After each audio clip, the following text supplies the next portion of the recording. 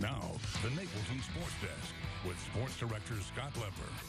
The Hononegah girls basketball team got over the hump last week by beating arch rival Boylan and winning their first sectional championship in 25 years. But the Indians wanted more. They wanted a trip to state. That's what they were after tonight the Streamwood Super Sectional where they took on Warrenville South. Indian Nation well represented. Warrenville South's Myra Emma getting the first points of the game, nailing a three. The Tigers were on a roll early. Kylie Ruggles adds two more for Warrenville. But Jordan King will spark the Indians. She launches a three, and it is good with the bounce. It was a tough first half, though, for the Indians. They trailed by three at the break. But things clicked for them after that. Well, King clicked. Here she is with a steal and the easy bucket.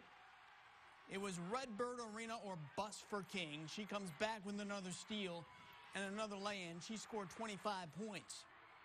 From the corner now, it's Hannah Malcolmson who drains the three and start the celebration. The Indians won 50 to 33. They're headed to the state tournament for the first time in school history.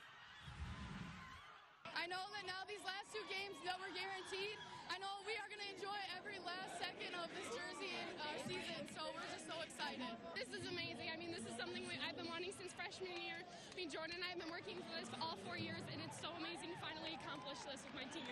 At halftime, we challenged them a little because we didn't play a very good first half, but we were only down three, and they just took it upon themselves to, to get rebounds and to go after it, and,